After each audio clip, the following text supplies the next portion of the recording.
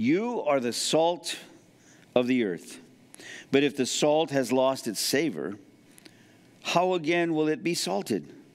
It is therefore good for nothing but to be cast out and to be trodden under foot of men. Now, if I was a chemist, I would say, You are the sodium chloride of the earth. If the sodium chloride has lost its potency, how, in will, how will it be reconstituted? It'll have to be thrown out of the lab, and students will walk all over it outside. Jesus said after verse 13, You are the light of the world.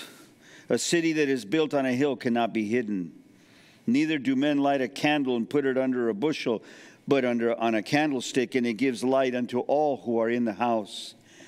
Let your light so shine before men that they may see your good works, and they will glorify your Father who is in heaven. It's interesting how Jesus used a lot of this symbolism when he said, I, I am the light of the world. And now he says, You are the light of the world. When he would say, Follow me, follow me for three and a half years, take up your cross, follow me. He had thousands of disciples. That's why they wanted to kill him. Behold, all of Galilee followeth after him. Follow me. And then one day he said, Now go. But you said, Come. Yes, now go.